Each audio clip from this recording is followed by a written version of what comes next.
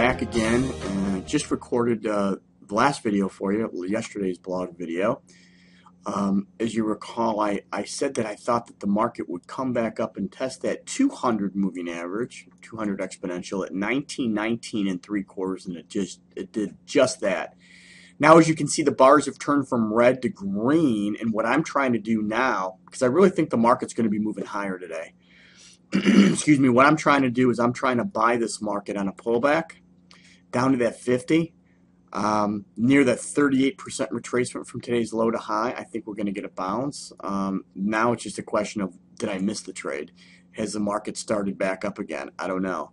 But what I am, look at 1917 and a quarter, I was trying to get long here at 1914 and three quarters, right there. Market ended up trading down in 1915 and a quarter. If the market here in the next few minutes can can continue pulling back, I would still look to get long at 14 and three quarters. Looking for the high of the day to be tested again and potentially go much higher. So that's that's where I think the market what's going to happen. So I'm going to pause the video and see if we can get that pullback again. I don't want to chase the market. You know, I don't want to chase the market and you've got to be patient. You've got to wait for those pullbacks and there are going to be times where you miss a trade altogether. Even though you're right, you're waiting for the market to come back, come back to you. Uh, like in this case, I mean, look at this. We missed this trade by two ticks, and we're up literally uh, three points from where I was looking to get long at 14 and three quarters. So, again, my bias is market should continue moving higher. I'm going to pause the video and see.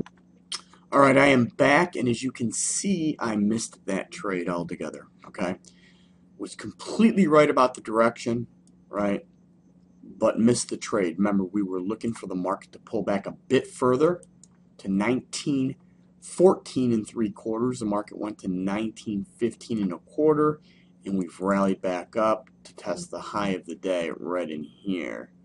Again, missed it by 50 cents only, right? 50 cents, and look at that move back up to 1919 and a half.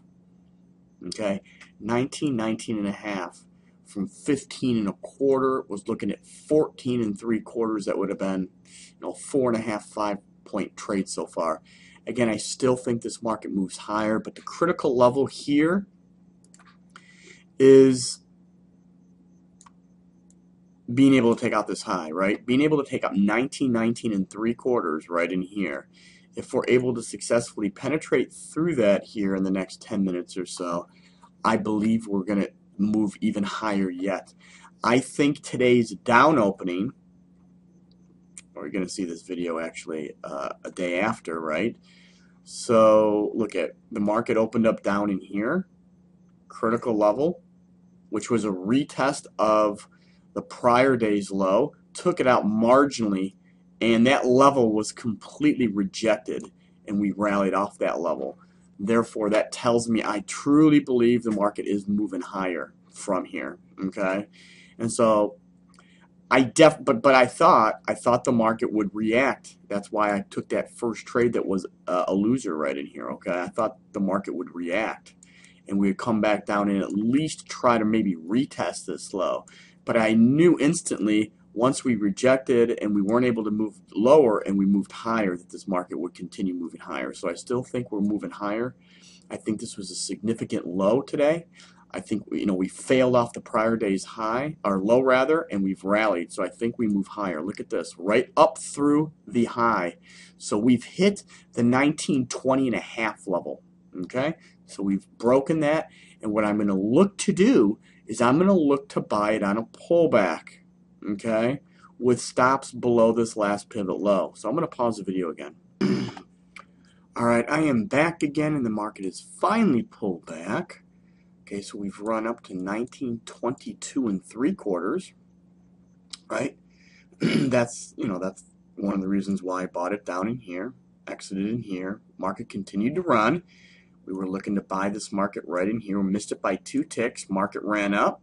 That would have been a, nice uh, Third trade of the day, right? Now the market's pulling back. We're getting close to a level which I would be looking to buy. But unfortunately, I need to leave the office and take my daughter to acting camp. Um, so I'm not able to take advantage of this, but I still think the market moves higher. And the market's not quite at a level where I'd be buying it anyways. I I, I would want it. Uh, I was hoping right in here the market would be able to pull back a little further than it did here before moving higher. Okay, but look at we are getting this bounce again, so I, I still think we move higher on the day. And I'll let you go. So I, I still think this video is helpful uh, because what you've seen firsthand is not every time will you get filled, right? Sometimes you're looking for a pullback to a certain level, and sometimes you just don't get, don't get filled. So we missed this trade by 50 cents. Okay, we were looking at 1914 and three quarters. Market traded down to 1915 and a quarter and rallied up real nicely, like seven points, right? Made a new high, and we're coming down again. Again, I believe this area is a buy area. And again, I was looking for it to come down a little quicker so I could get in.